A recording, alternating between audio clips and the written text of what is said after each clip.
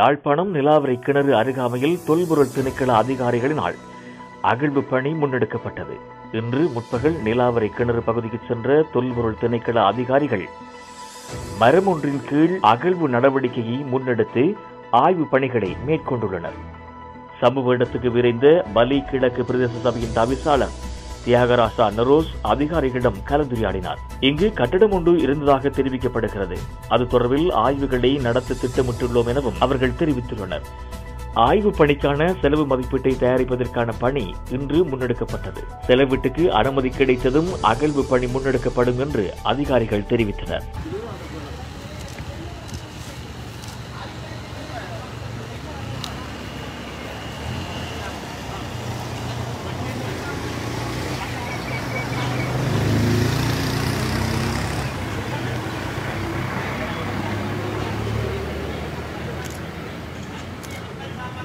කමිසන් අරගෙන වෙල කරන්න. ඒකයි. අපිට අපිට සැක තියෙනවා මේක මේක මොන මොන ප්‍රශ්න ඇයි කියලා අපිට සැක තියෙනවා. නෑ මම හිතුවා අපේ ලොයිල ඉස්මාරේ රක්ෂිතයා. අපි අපේ රටේ දැන් කොටුව ගන්න නෑ නෑ. ඔබතුමාලාගේ රාජකාරියට අපි බාධා කරන්නේ ඔබතුමාලා කියන්න මේ සභාපතිතුමා ඇවිල්ලා මෙහෙම කියනවා. ඒක නිසා ඒක උපදේශ අරගෙන දිසාපති මාත්‍යගේ ගොන්මන්ටේ ජන්නත ඩස්ගේ මෝට බෝටක සාකච්ඡා කරලා ඕන එක කරන්න මම මම සීල දිනාශ වල මගේ රාජකාරී පරිසරයක් එක්ක මම කටයුතු කරන්නේ ගියේ ගිය මාතර කියලා කියන්න මේක ඇවිල්ලා අපේ ලෝකල් ගවර්න්මන්ට් එක මේක මේන්ටේන් කරා. මේ මේ අත්ත බං කියන්නේ දැන් මේක කරුණා කරලා මේ සයිඩ් ඔක්කොම අපි ටෙන්ඩර් දුන්නේ.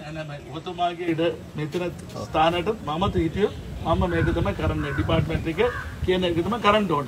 ඒක නිසා අපි කියන්නේ அவரும் கூட அங்க ஒரு அதிகாரம் அளிக்கப்பட்ட உத்தியோகரான்றது எனக்கு தெரியும்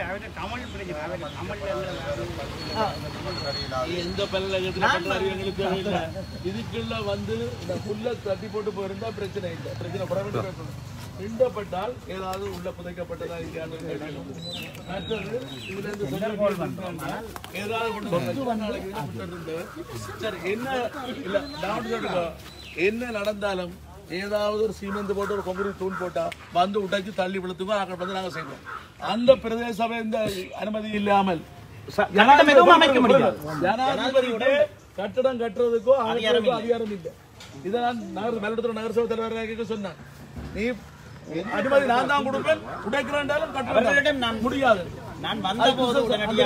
வேசி இருந்த கிருஷ்ணசாமி சொன்ன ஐயா ஐயா தான் செய்யுங்க ஆனாலும் மக்களினதும் மற்றும் மக்கள் பிரதிநிதிகளினதும் கடும் எதிர்ப்பினால் அவர்களது முயற்சி தற்காலிகமாக தடுத்து நிறுத்தப்பட்டது.